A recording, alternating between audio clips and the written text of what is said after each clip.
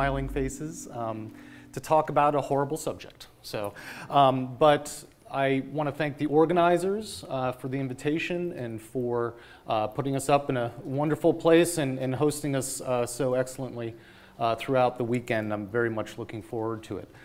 Um, I also want to thank our sponsors of uh, this particular talk. So Bee Culture is the sponsor of this talk. I want to um, thank them for their support. They have a really excellent booth downstairs, so make sure that you uh, um, go down to the venue and uh, make use of all of it. I also want to echo uh, Sue's comments earlier about how impressive this honey show is, so kudos to all of you um, who entered. Uh, I mean, you have more mead categories than we have in all of our, you know, uh, state fair categories. It's just, uh, just really impressive, and it's just great to see.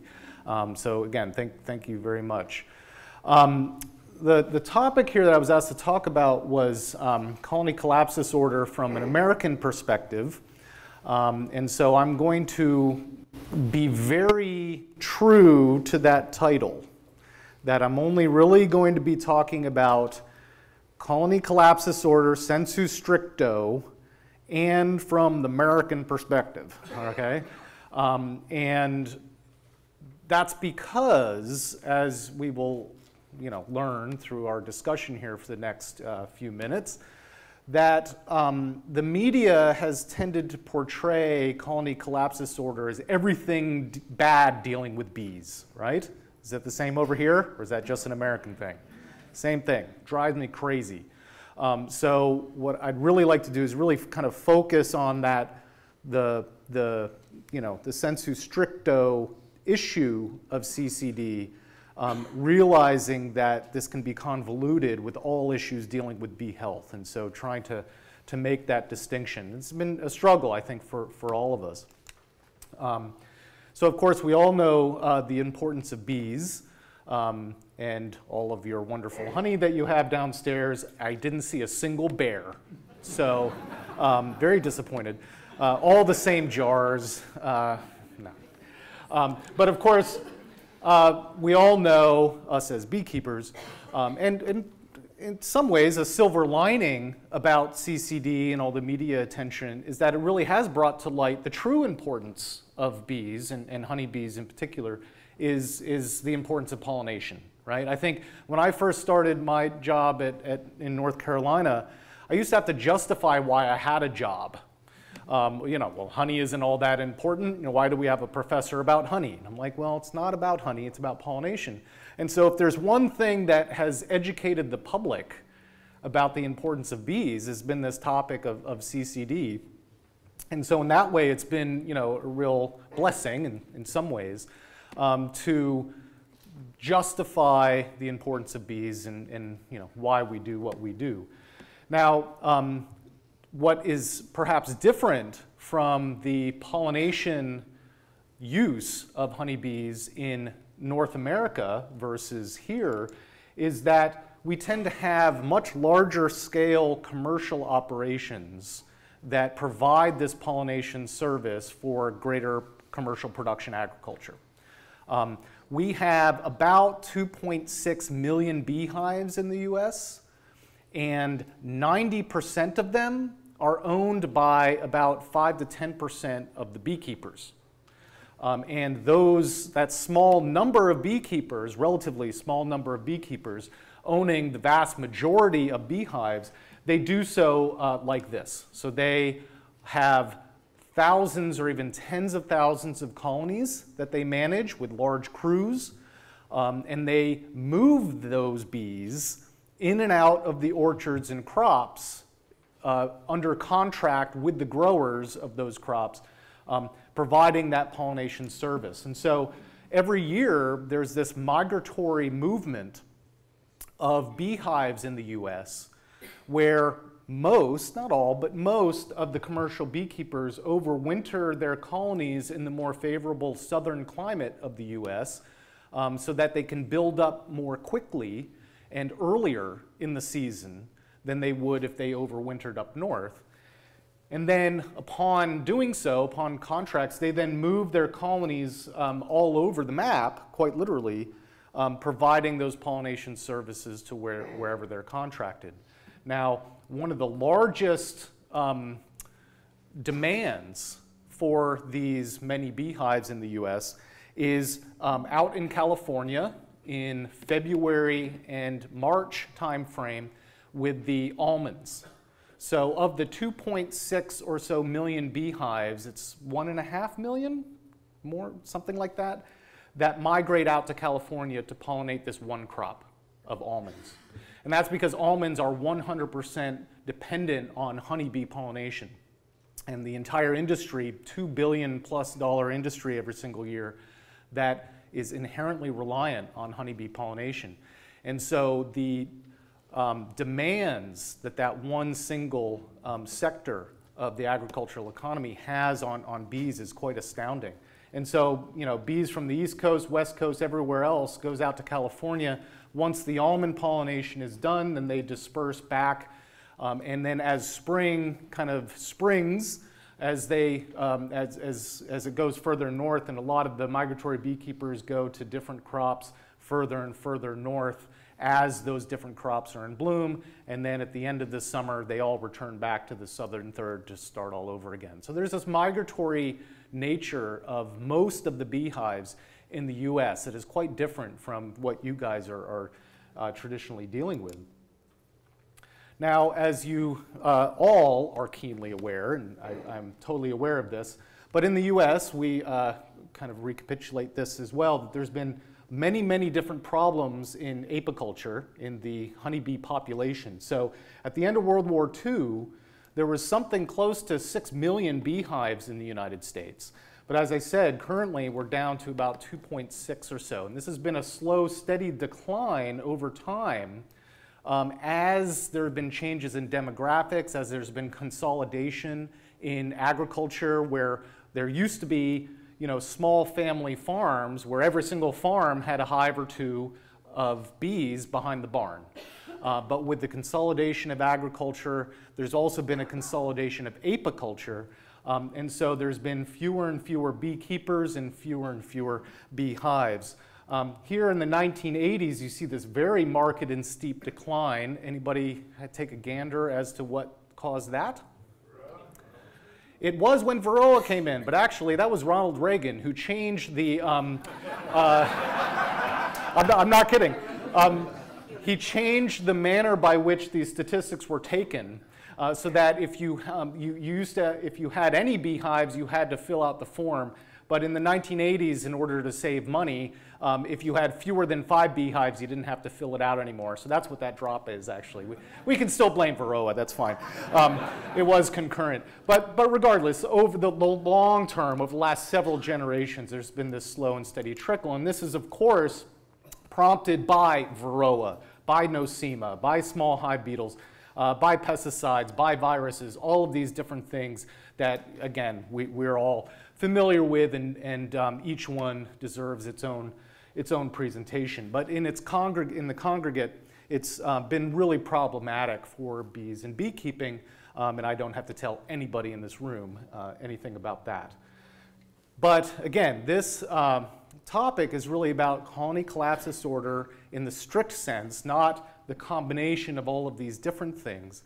Um, and what you might not realize is that we in North Carolina have the one and only proven uh, picture of colony collapse disorder um, as it's occurring. And so this is colony collapse disorder. this is the most definitive proof that we have of colony collapse disorder um, following a hurricane. We get a lot of hurricanes down in North Carolina. So, um, so there's actually two forms of colony collapse disorder, this kind, um, and the one that, that uh, we really um, you know, attribute to this kind of mysterious syndrome that, that is now kind of infamous. And as the story goes, whether this is true or not is up to you to believe, but the, um, the story of how colony collapse disorder was really described starts uh, this, with this gentleman here. This is one of those large-scale commercial beekeepers in the United States based in Florida and Pennsylvania, depending on whether it's winter or summer. And his name is David Hackenberg. And as luck would have it, um, his Pennsylvania operation up in the north is uh, the same hometown that I grew up in. And so he and his son and me went to high school together. This was years before I ever got into bees, but that's um, just random trivia. Uh, but Dave Hackenberg, um, uh, as the story goes, he had several holding yards down in, in Florida um, during the early spring. And uh, he went to them and he was managing them and he went to them one week and they all looked great. They're all healthy and thriving and, and doing just great. And then two weeks later, he goes back in order to move them for one of these pollination contracts. And he comes back and he sees this just a ghost town, just empty hives, um, you know, uh, not really a lot of dead bees, but just kind of, they just seemingly disappeared. And he started making all sorts of phone calls and he was talking to scientists and regulatory authorities and everybody was kind of, oh, well, you just have a mite problem or you, they're just starved to death. And they were all attributing this phenomenon to the same old, same old, right? These are all the things that, that we've been dealing with. But Oh, and these are just some pictures of, of kind of what he found. And, and he knew that there was something different. You know, Dave, Dave is a very experienced, you know, uh, well-respected beekeeper. And he knew that this was something that was very, it, it, the onset of it was very rapid because not only had he been there two weeks prior and they were healthy and thriving, um, going into the colonies, he saw just this depopulation of the adult bees, but huge amounts of brood for the most part. Now, of course, who is there to raise that brood. Somebody had to be there to raise all of that brood, but if the adults aren't there, then something doesn't fit.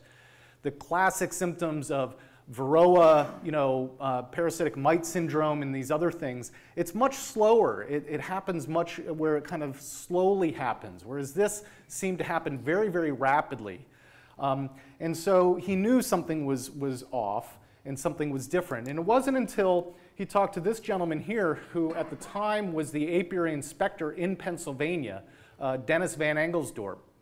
And uh, Dennis, I think, had the, the, the, remarkable and keen insight to rather than just kind of blame the usual suspects, to really see, okay, there really probably is something different that's going on here.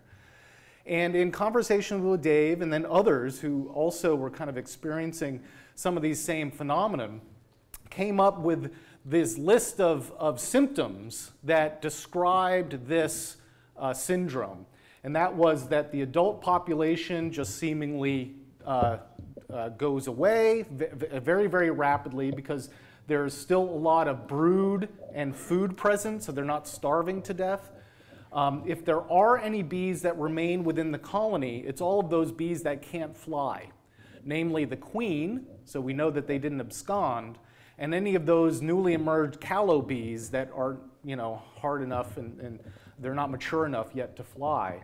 Um, and one last uh, symptom is that if you put a, a, a, you know, an empty super of honey out in the middle of your apiary, what's going to happen?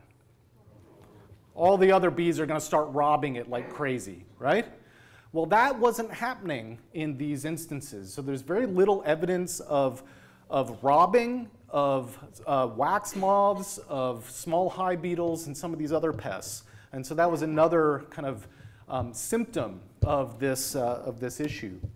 And so um, this was a phenomenon then that um, Dennis uh, got together a whole team of scientists very early on, known as the CCD Working Group, um, and was trying to look at it from all these different angles and uh, bringing together um, different expertise uh, uh, and different techniques that, that people would use.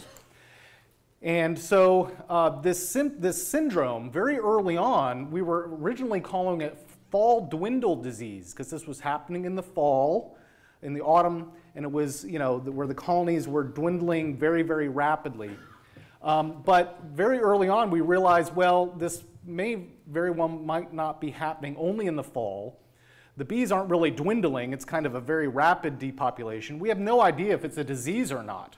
And so this working group then very quickly came colony collapse disorder rather than this fall dwindle disease because it was um, more descriptive and more appropriate for what we were seeing with the information that we had at the time. So that report um, and I swear Dave Hackenberg's mugshot in the, in the popular press really snowballed and took off. He was the perfect poster child, I think, for this, uh, this whole phenomenon. And it, it really snowballed. And so there was a lot of media attention where there was just, you know, article after article after article about this kind of mysterious syndrome. And I think it was just a very compelling story for the media to talk about this mysterious threat and the bees are disappearing. And it was just kind of this perfect storm um, that just captured the attention uh, about 10 years ago. Now, because of that, as I was alluding to earlier, the media then portrayed all problems to CCD. And this is never something that any of the scientists have espoused, um, and always trying to make the distinction between CCD in the strict sense and all bee problems in general. And so um, I use this figure here to kind of illustrate that. If we have 2.6 million beehives in the United States, um, surveys have really shown that fairly consistently about a third of those colonies are lost every single winter. So there's a pretty significant mortality, which again is very problematic. Um, so a third of the bees in the United States die off every single winter. Um, about a quarter of those die off for reasons that don't seem to be explained. That is to say, 75% of the mortality every single winter um, are blaming the usual suspects of starvation, varroa mites, you know, a lot of these other kind of problems. So only about a quarter of those losses are attributed to unknown or suspect causes. And only about a tenth of those are consistent with those symptoms that I was talking about of CCD. So if you do the calculus here, you know, a vanishingly small minority of the bee population is subject to colony collapse disorder in the strict sense. But again, the media makes it sound like all the bees are dead and they've all died of CCD, right? And that's never been the case, uh, and, and, that's never anything that anybody said, but it just kind of makes the, that's the, the general narrative that seems um, to be fairly pervasive. So I'm just going to be talking about those cases, not kind of all mortality here. Okay, um, the CCD working group at the time had the mantra that um, all hypotheses were on the table. However, many of them were not actively being investigated. All right? So, first and foremost, um, that whole media blitz about the cell phones, do you guys remember this? Cell phones were killing off our bees and, and causing.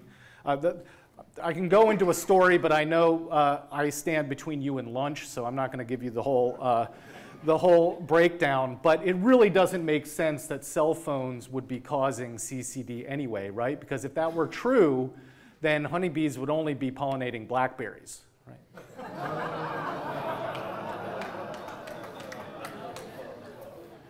or, or apples. I guess, you know, BlackBerry went out of business, right? So now we have to say apples with an iPhone. It doesn't really work as well. So um, that joke is pretty soon going to be lost to time.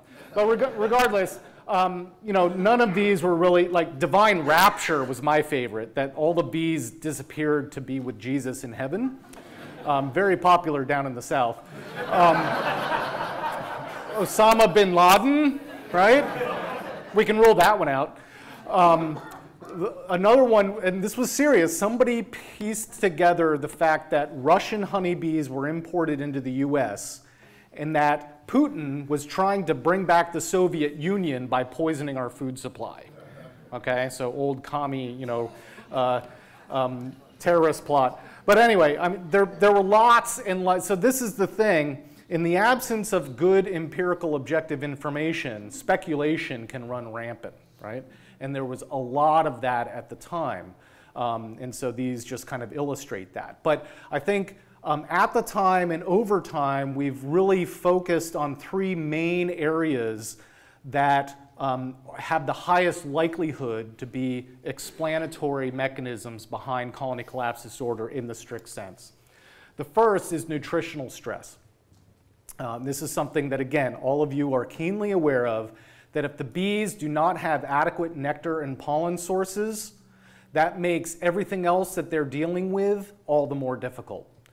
They, their immune systems may not be up to snuff. They just aren't able to make the brood as healthy as they can. They're not able to store away that honey. They're not able to make their winter stores, which makes winter mortality all the more challenging.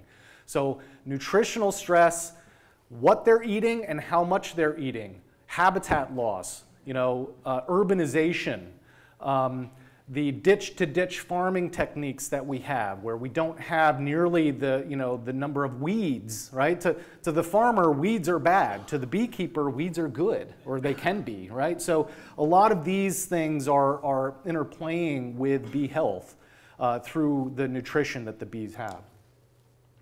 The second area, of course, is environmental contamination, most notably pesticides and the different um, you know, chemicals that the bees are being exposed to out uh, on their foraging trips. Because you know, bees can fly, honeybees can fly you know, four miles away, which is about 50 square miles. I have no, what is that in kilometers? I don't know. I, I realize you guys don't know miles anymore, even though you invented it. Uh, oh, you do? Okay, good. All right, 50 square miles. 50 square miles is a lot of real estate, right? That's a lot of real estate. And they're, they're central place foragers, so they go out in the environment, they're picking up their food, and they're coming back so they can be sequestering these different compounds from their environment inside the hive. Um, and those things can be building up inside the hive matrices, the honey and the wax and the comb. And you know, that can be causing real problems. So there's been a lot of research looking into pesticides in particular, but environmental contaminants in general. And there's also the, the things that the beekeepers themselves in the US are very famous for placing inside their colonies for mite control and other, other, um, other needs. The third area is pathology. So lots of different disease agents um, are at work, right? And again, Sue already mentioned some of them. You're all abundantly aware of you know, most of them. These are things that we're dealing with constantly as, as a beekeeping community looking at the different pathologies, both the known ones, viruses, nosema, varroa, as well as the unknown ones, right? There may be um, uh, disease agents out there that we don't yet know about uh, as scientists and as a, as a beekeeping community. So we need to be on the lookout for new things as well as the old things or things that have changed with respect to you know, different viral uh, um, variants and, and these other types of things. So the, these are all very complex issues, and all three of these things interact with each other. And I think that that's the conventional wisdom is that it's this multiplicative um, problem that's a combination of uh, more than one of these general factors. So at the time, again, I'm sticking to the story of this original CCD working group. Um, and at the time when this was the first advent and um, kind of description of colony collapse disorder, there were two major, major studies that were undertaken on that, that over the last 10 years, there's been a lot of science that has come from them, from this first year. Um, the, the first study was kind of a large-scale, single sampling event. So uh, Dennis Van Engelsdorp and Jeff, Jeff Pettis and, and many others um, went out to lots of different beekeepers um, in, uh, in, across you know, many different places in the US and sampled comb, bees, brood, uh, bee bread, um, lots of different, um, just taking samples and throw them in the freezer. And then those samples were then dispersed among the, the different members of this working team in order to analyze them in different ways. Uh, so this was kind of a, a large-scale, single kind of time cross-section, a single event trying to, to sample colonies that supposedly succumbed to colony collapse disorder, and then healthy colonies that were sitting right next to them that uh, did not come down with colony collapse disorder. So we had healthy and sick populations that were kind of collected at the same time at the same place, trying to identify one or more things that was in the CCD bees but absent in the healthy bees, and that would give us, you know, kind of a smoking gun, as you were, to, to go out and investigate that mechanism further. The second major study was kind of a, a the opposite of this one-time cross-section, it was a longitudinal study. So it was um, following three of these large scale commercial beekeepers over an entire year. So it was uh, following the same colonies and taking repeated samples over the whole year um, as they moved from one place to another. And so this uh, diagram right here, even though you can't read it, but it's showing operations one, two, three, and the different sampling events uh, of the different stars here, and then where they were um, moved to. And so every single one of these colonies was sampled before and after the move as they kind of repeatedly moved those same hives throughout the same year, throughout that year. So again, longitudinal study rather than a single uh, cross section. And so, you know, there were a lot of things that were done at that time. Uh, one of the things was, well, is, you know, the, the hives and the combs that uh, had a colony died from CCD was there uh, some sort of infectious agent or some you know, problem with the hives itself um, that could then be transferred to another colony? So if you just shook a package or put a new colony inside that same hive, would that colony also succumb to CCD, right?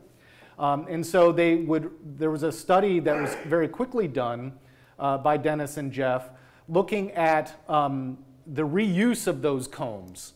And the long and the short of it is, is that following their, uh, the mortality over time with those uh, four different um, treatment groups, the take-home message is that there didn't seem to be any appreciable um, increased mortality risk of colonies that were placed into, into hives that succumbed to CCD versus those that were not.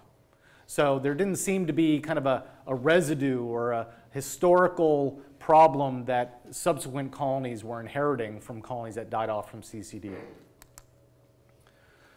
Um, there were, as I said, these, these uh, single cross-section samples dispersed to all of these different labs across the US, and they did their analyses and came back together. And um, across all the different labs, there were 61 different variables that were measured of the CCD colonies, and the healthy colonies and compared all 61 of these uh, between those two populations, looking at the adult bees, pathogens, pesticides, all sorts of things. And in general, in essence, we couldn't find one single factor that was highlighted uh, between the two. So there was nothing that was persistently or consistently in the CCD colonies but absent in the healthy colonies or vice versa. So there, there didn't seem to be a single smoking gun that uh, really kind of uh, um, prompted further research to say, ah, this is the one thing that seems to be causing this. And so very early on, based on this study here, uh, it seemed that there was a combination of different factors that led to this particular syndrome. There wasn't going to be an easy explanation. Um, soon thereafter, in uh, 2007, there was a science paper that was giving some hints at perhaps one factor that may be fairly discriminatory.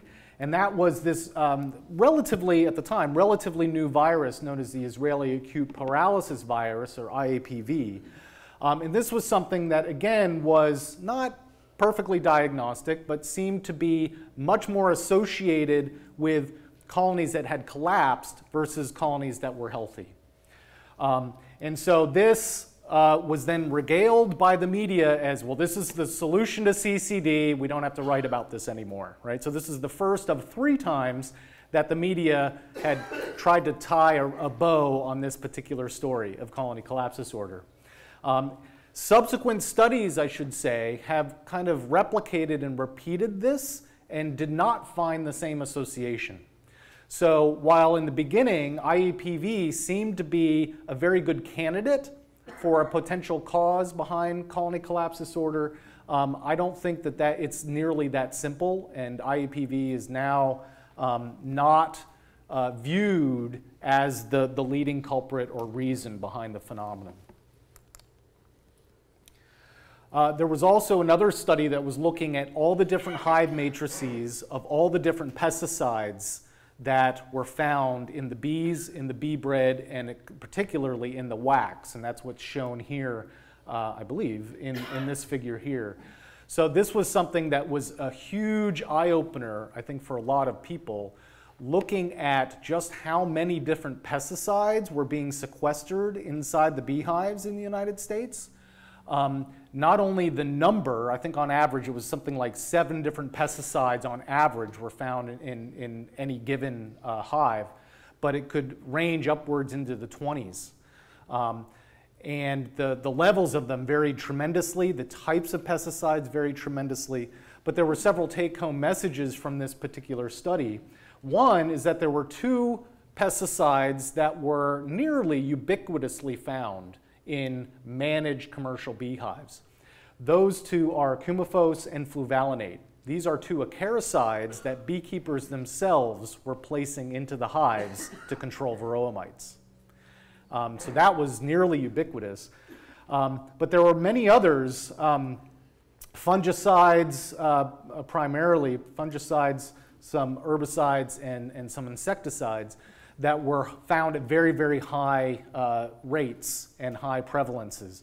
And again, because in the US, fungicides are relatively non-toxic to honeybees, and a lot of the, uh, the um, fungus pathogens of a lot of crops occur on the blossoms of the, the, the crop. And so the growers are often spraying fungicides during bloom when the bees are there pollinating them. So you see a lot of those, uh, those chemicals in, in hive matrices because of that. Um, so there was a, a lot of um, uh, insights that this study provided looking at the different environmental contaminants that are found inside the, the beehives. But again, no single chemical was found in colonies that died of CCD versus the healthy ones. That there didn't seem to be a single kind of smoking gun as far as a different pesticide that could be an underlying cause of the phenomenon. Uh, later on, there was a, a genomic approach um, that was taken by looking at, at the different gene expression of colonies of bees from colonies that died from CCD versus not. Um, and this is just really harnessing the power of a lot of these new genetic techniques um, that are really insightful, looking at a gene by gene basis and whether it's getting turned on or off as a result of different conditions. In this case, whether they died from CCD or not. Um, and so overall, there was an elevated expression of different uh, kind of pesticide detoxification genes and enzymes. So that's, that's highly suggestive, obviously. Um, but there didn't seem to be, you know, any one clear signal that was occurring here. Um, but in essence, one of the, the biggest take-home messages here is that their um, antiviral and their immune systems of colonies that died of CCD, they were really jacked up. Uh, so those genes were, were highly expressed and turned on much more. Um, but again, there wasn't kind of a clear signal and evidence here of one factor over another, but it just seemed to be, to be indicating that colonies that died of CCD were more stressed out, which is kind of no duh, right? Because uh, they died. The second time that the media regaled the pronouncement that solution to CCD was, was discovered and found was upon the publication of this paper by uh, another group, not the CCD working group, um, or um, studies derived from those samplings. But it was um, associating two different pathogens, uh, a relatively uh, unknown and newly described iridovirus, a DNA-based virus, and our good old friend Nosema ceranae uh, the microsporidium that lives in the guts of the bees. And uh, this paper uh, made a big splash at the time and uh, was based you know, on these cage studies done in uh, kind of petri dishes looking at how the dual infection of, of this virus and this fungus caused um, an increased mortality in the bees in the cages um, compared to when they're uh, not fed those different pathogens. Um, now, subsequent studies, however, have been unable to find that iridovirus in managed colonies. So there's some debate as to what this kind of new found virus is and whether it's really prevalent in um, uh, a lot of these colonies that are, that are actively managed in, in North America. And so nobody's really been able to follow up on this new DNA virus and, and whether it's, um, it's really prevalent or really causing problems among, among the bees. And even that, uh, that group that, that studied that is, is no longer pursuing this line of research. So we're kind of at a question as to the relevance of that iridovirus at this point. There were, however, kind of more, rather than focusing on any one individual pathogen, taking a more comprehensive look and looking at strong colonies versus weak colonies or collapsed colonies for the entire pathogen web. So looking at all the different diseases and disease agents at the same time. And so, again, there's no one pathogen that seems to be um, absent or at lower levels in healthy colonies uh, but very high levels in the sick colonies. Uh, and there doesn't even seem to be one combination of those different disease agents. But overall, sick colonies, this may surprise you, have more diseases than not sick colonies. That's kind of a take home message from this. But again, it's not very consistent as to what individual disease or combination of diseases. So there seems to be very complex webs of the pathogens that the bees are dealing with. Now, whether this is cause or effect is still unknown. Are the collapsed colonies dying because they're just overwhelmed with too many pathogens? Or are their immune systems being compromised by some other factor, which then prompts them to be more sick? Right? So this association seems to be upheld and very repeatable and found by multiple groups but again, it's an association that we don't know if it's in a cause or an effect at this point.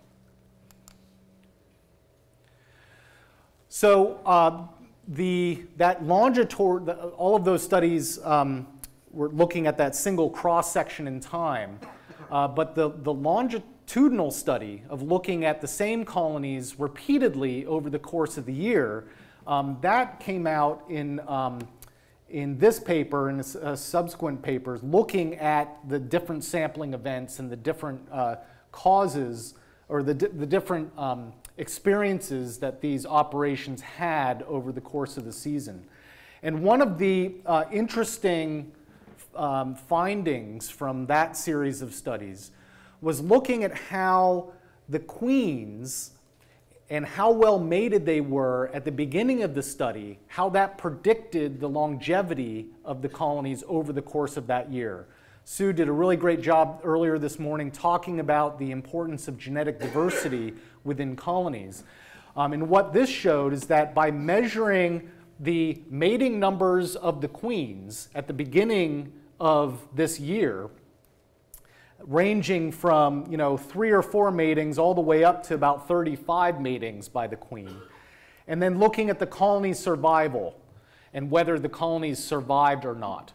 Um, and so just to make this graph graphic a little, little bit more simplistic, when we look at colonies where the queens were mated with fewer drones, that is, the worker force was less diverse with seven or fewer matings, those colonies were three times more likely to die at the end of the season than colonies where their queens mated sufficiently or more than seven times. So the colonies that lived, they tended to be much more diverse. The colonies that died, they tended to be the ones that were much less diverse and that their queens were inadequately mated. So this really showed how the underlying genetics and genetic diversity within the colonies had a profound effect on the overall survivorship um, and the onset of colony collapse disorder in these migratory operations. Again, it's not, it's an association, it's not a cause, but it's an underlying contributor of uh, bee ill health within the colonies. So the way that things stand now, and again, there's been lots of other research um, subsequently by other groups uh, dealing with colony collapse disorder, and this was really just derived from those early studies uh, 10 years ago when CCD was first described. Uh, but I think by and large, the conventional wisdom from the American perspective is that colony collapse disorder is a syndrome that is a combination of all of these different stressors that's uh, going about in the environment. And more importantly, why it's been very difficult to kind of tie all of these things together is that in some cases, colony collapse can occur by one major factor, say viruses, in combination with other things like pesticides or varroa mites. But then in other instances, you can have a combination of entirely different factors that can result in the same syndrome. And so that's what's made it very difficult to try and piece all of this together is that the lack of consistency arriving at the same end um, makes it incredibly hard to, to make one underlying cause or even combination of causes. Now, since then, of course, there's been a lot of other investment. There was uh, an entire uh, coordinated agricultural project completely devoted to trying to understand the underlying causes of colony collapse disorder. The Bee Informed Partnership has been uh, very important in understanding what management practices beekeepers have been doing that results in success versus failure, and trying to learn as a community among all the different beekeepers of what's working and what's not so that we can try to better our management practices and get to the bottom of not just colony collapse disorder in the strict sense, but all of the problems that we've been facing, both known and unknown causes. So as an example from the Bee Informed Partnership, this is completely washed out, my apologies, but um, just believe everything I say from now on. the, um, these series of, of surveys that have been going on over time as part of the Bee Informed Partnership, um, if you could read that column at all, you would see that colony collapse disorder is way down here at the bottom. That these are the top reasons that beekeepers have been answering in their surveys in the US as to why their colonies died. And colony collapse disorder, I should say, symptoms consistent with colony collapse disorder are uh, very, very low in the ranking. The top ranked things are starvation, whether the colonies were weak going into winter, um, queen problems, weather, all of these things that are not CCD. Um, and so, uh, again, it underscores this whole point that um, CCD is a minority issue compared to all of the other problems that result in colonies dying off. And I think we need and have been taking this kind of global comprehensive approach to try to better bee health rather than strictly focusing on CCD itself. Um, these are many of the different funding agencies that helped that uh, fund that original work uh, 10 years ago, um, and USDA has been very supportive in trying to follow up on that. And with that, I'd be happy to take any questions. Thank you very much.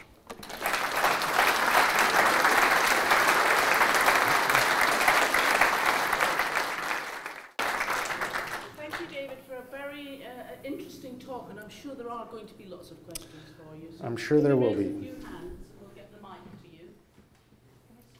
start down here? Well, I was wondering if you could go back to the slide where you did uh, the mate where the bees are. The queen is has a lot of matings and one where she doesn't have a lot of matings, and then um, whether the colony uh, was healthy or not. Yeah. That one or no, this no, the one? other one back. This that, one. That one Mhm. there, more diverse and less diverse. Yeah. Yes. Now I just I understand the less diverse matings on, on the left hand side, but on the more on the right hand side, more diverse that lived or died. I mean, it seems 50-50 if it lives or dies. I just want. So that's another. Uh, that's very insightful. Um, best case scenario, the queens only lived half of the queens lived for that one year. So this has been a focus of a lot of our research is that, you know, queens are supposed to live two, three years, right? That's what the textbooks say. Um, but in actuality, in these operations, um, half of them didn't even make it that first year. Um, and so this is, uh, you know, this is very problematic, and you know, we've been trying to look into what makes a good queen good and how can we try to bolster queen health because that will go a long way to bolstering colony health. Mating has certainly something to do with it, but that's also a very complex issue. But yeah, absolutely. Um, best case scenario, 50 50, which is still not great. Can you tell me, please, has any work been done on the effect of supplementary feeding, amounts, corn syrup, and so on, on the winter mortality of, of bees? Yeah, so very early on, um, there were surveys done among those beekeepers that experienced colony collapse disorder, trying to look at different factors like what queen stock were you using, what were you feeding, were you using antibiotics or not, and a lot of those types of questions that were done. And there didn't seem to be any consistency when it came to nutrition, um, as far as supplemental nutrition. Uh, but I think that that um, still needs to be explored. And uh, there has been work done on that, but not in the strict sense of CCD, right? Uh, more to overall bee health. So um, how that plays into it doesn't seem to be, again, a direct cause that colonies that died of CCD were all fed high fructose corn syrup and colonies that don't aren't, right? So it's not that simple, but how it plays into some of these other factors uh, needs to be teased out. You appear to have focused your research on the big bee farmers. Mm-hmm. Is CCD problem similar in the small hobbyists? Great question. Next question. No. Um, that, uh, so the reason that this was done, again, because in North America, the vast majority of the pollination services that's done to greater agriculture, which is the reason why bees are important, are done by those large-scale commercial beekeepers. Um, but the Bee Informed Partnership and the surveys not only survey the large commercial beekeepers, but also small scale hobbyists. Um, and it seems that um, CCD in the strict sense and bee ill health in the general sense are not um, unique to the large scale commercial beekeepers. That um, both of those, uh, all of the issues are a biological phenomenon that small scale beekeepers also have, right? Now, th that can get into the weeds very, very quickly, but in general, um, CCD in, in the strict sense and in the general sense is not unique to the large scale commercial beekeepers. Um, the smaller scale beekeepers have them as well. But of course, in the United States, where do the hobbyist beekeepers buy their bees from? The large scale beekeepers, right? So it's, it's hard to tease that apart, but it is definitely not unique to the larger scale operations. Most of it, as you say, is the commercial keepers. And I've seen on television how they transport the bees, and they're pretty rough.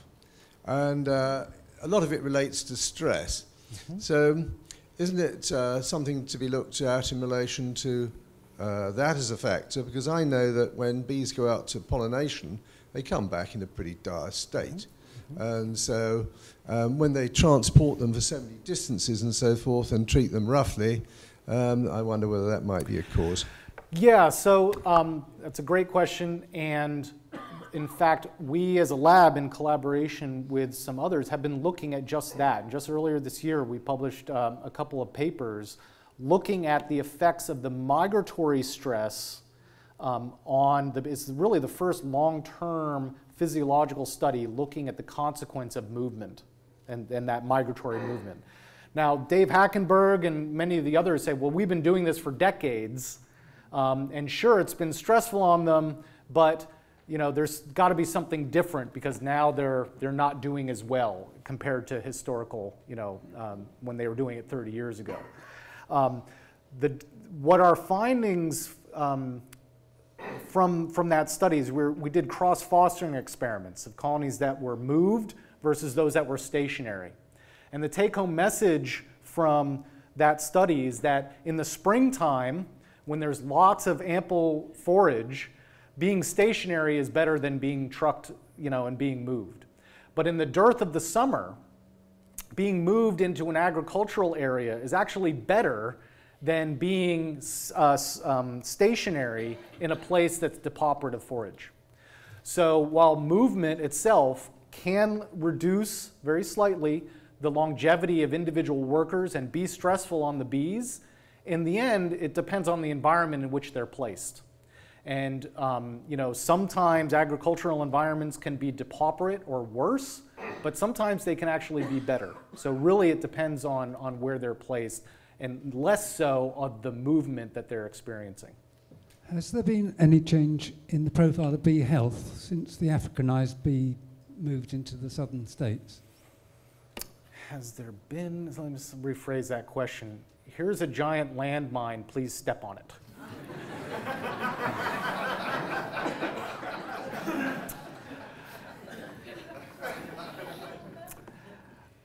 No.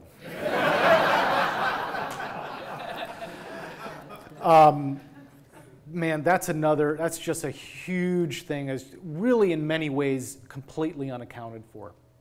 Completely. Um, how the underlying genetics affects all of this has got to be huge. The genetic creep of Africanized bees and you know the Africanized bee genome being kind of slowly seeping into the breeding population of, of North American bees, really for the most part unknown. Um, it's, it's just it's really hard to tease that apart. It's really hard to tease that apart. So, um, I mean, I know people are aware of it, but they're also, I think, in some ways, burying their head in the sand when it comes to that issue. Is that? Would you agree with that, Sue? I think so. Yeah. We, as as geneticists, we just we'd like to ignore that. A, a question related to a previous question um, about rough handling. On one of our TV programs showed beekeeping um, in the United States and was related to CCD. Showed a couple of things which I thought were very questionable practice, really. One of them was dosing hives with a material which was being applied in a very uh, unmetered form. Um, basically, there was a bucket of a white powder which wasn't explained that it, you've got it. Um, and then the other one was um, packaging bees. Yep. And the approach seemed to be basically um, to knock all the bees out of as many hives as you got, put them into one huge amorphous mass, um, get a bucket and, and scoop them out, and then pour them into a package. Add a queen that came from somewhere, Yep. um, and, and put the lid on it, and then flog it as a colony of bees. Where it struck me it was really just a box of bees. It didn't have any colony structure at all. They were just random bees in a box. Um, any thoughts on that? Many. um, I personally have been espousing to uh, population of beekeepers in North Carolina, which are 99 plus percent hobbyist beekeepers, to get off of that package treadmill. I think there's a place for those packages and kind of this instant start of, of a colony, but as you said, it's not really a colony. It's um, bees thrown together so that they can start a colony. And there are pros and cons to doing it that way. And I think it works fairly well on a large scale, large scale beekeepers. But I've, I've really been um, pushing having locally sourced nukes, starting with actual colonies, not packages, and locally sourced queens. The bottleneck in that type of approach is raising good, high quality queens, as I'm sure Sue will address later on this afternoon. Is that your talk this afternoon? Um, and so, you know, so that's the real bottleneck. Um, and so it's easier said than done. Uh, but that is traditionally, um, again, because of this north south dynamic of large scale beekeepers overwintering in the south and then selling packages um, to spring when it starts to beekeepers up north. Uh, that's been something that's going on in, in the industry for quite a long time. Yeah. Oh, the white powder? Yeah, I mean, prophylactic use of antibiotics is nothing that um, is espoused. Um, but I think you know a lot of beekeepers do a lot of a lot of things. There's been a lot of uh, mite treatments that were off label for a long time, you know, and these are those are really regulatory issues that you know we don't have any authority over. Uh, but um, biologically, it is not sustainable, and it's something that again we need to uh, get away from.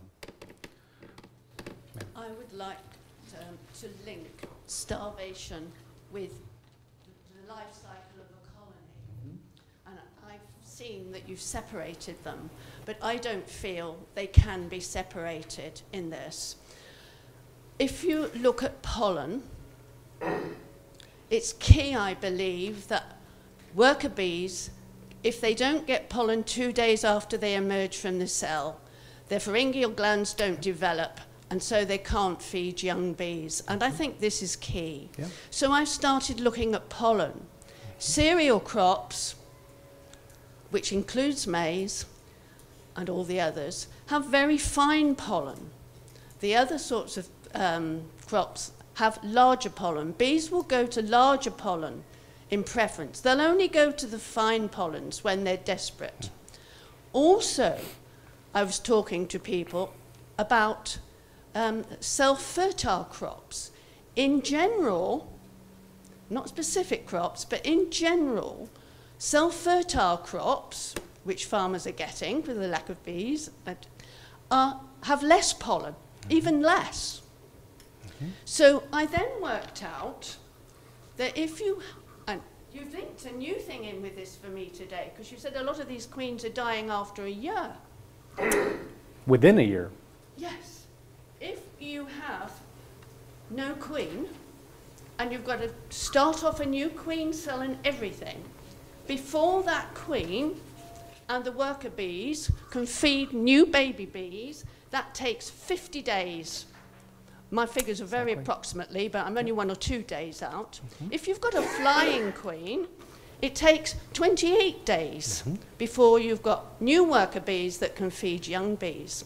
So I believe, especially in America where you don't have any um, uh, landfill sites, side of the farms where there's wildfowls, uh, uh, no, let me, I'm flustered.